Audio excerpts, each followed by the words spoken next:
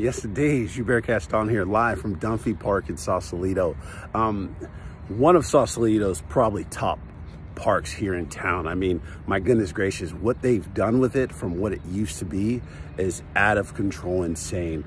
Um, and just walking it this morning while Sausalito Fitness Club has their boot camp going, um, you realize and you take in the beauty of Sausalito from the sun rising to just how the sun rising on the water is so beautiful you just take it in. I'm gonna do a 360, um, I guess you could call it a circle around of this park so you all can see what it looks like. But if you wake up in the morning, you wanna get active, um, look out for Sausalito Fitness Club and their boot camps. And then also just come out here and walk around this amazing park. They've got an outer track around it.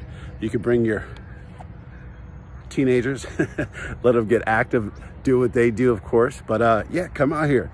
You know, there's coffee right down the street and you just walk the walk and just be you. Get out there, be active, enjoy yourself. Once again, this is Dunphy Park in Sausalito. Stay tuned for the full 360 view. Take care of yourselves.